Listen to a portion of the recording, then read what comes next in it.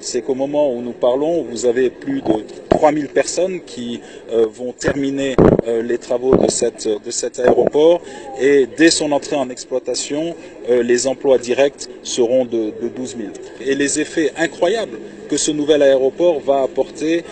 à la région de Thiès, à la ville de Thiès, aux différentes communautés rurales environnantes et aux différents villages en termes d'accélération des investissements pour l'accès à l'électricité, euh, l'accès à l'eau, la modernisation de ces villages qui, dans très peu de temps après l'entrée en exploitation euh, de cet aéroport, deviendront de, nouvelles villes.